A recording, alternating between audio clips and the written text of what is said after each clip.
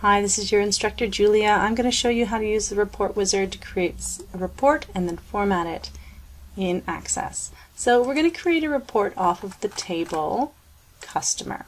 We're going to pull in all the fields and then we'll remove a few. We're going to create a mailing list. We don't need customer notes, customer gender, customer since um, in order to create this list. So also customer email should be removed as well. Click Next. We're going to sort by uh, last name and then first name, just in case there are individuals with the same last name. We'll leave it as a tabular form.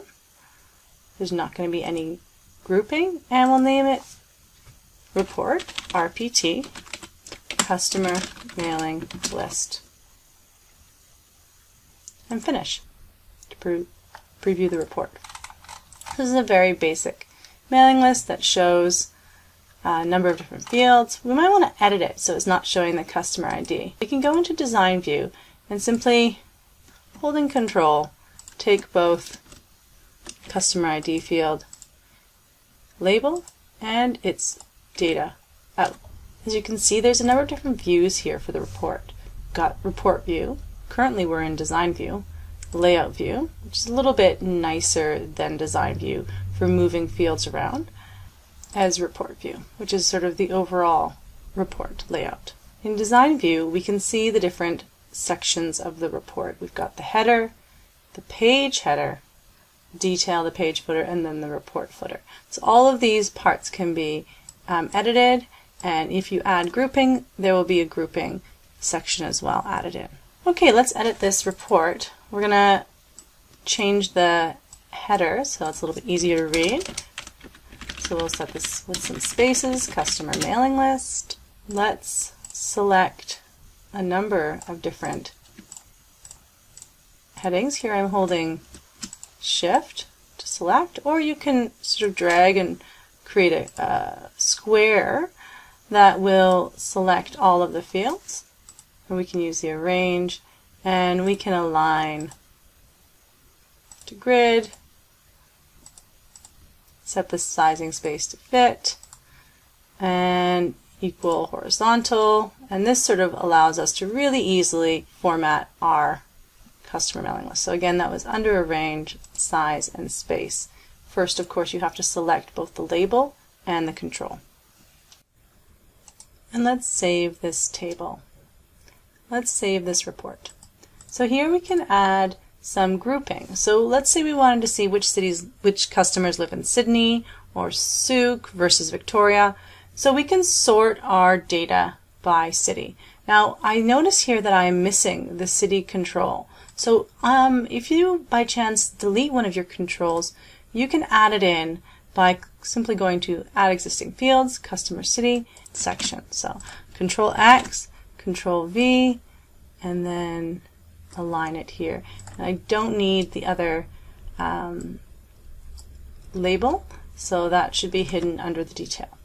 Okay, with the group and sort on, I'm going to remove the sorting because we want to group first and then sort. So we're going to group by customer city, and then we're going to sort by last name, and then by first name.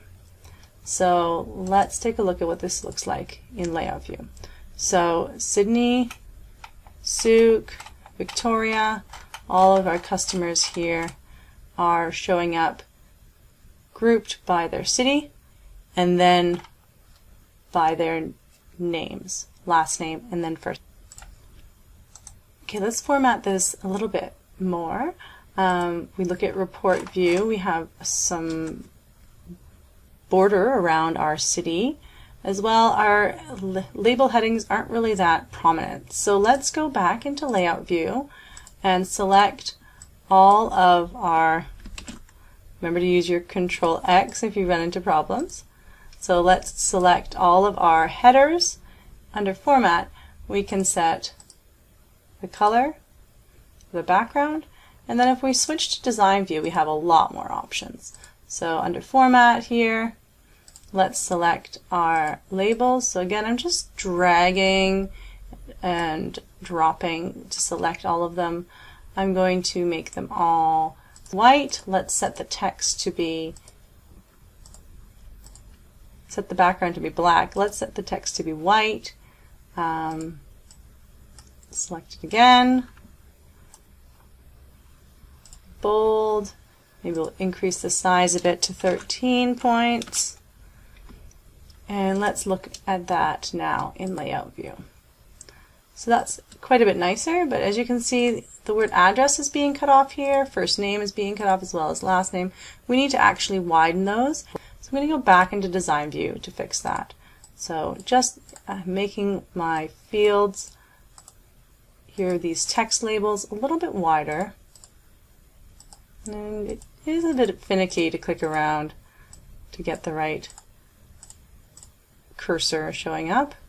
And my postal code label is actually going off the page, so I'm just going to pull it back over. And I should align this directly beneath the, where I've moved my header.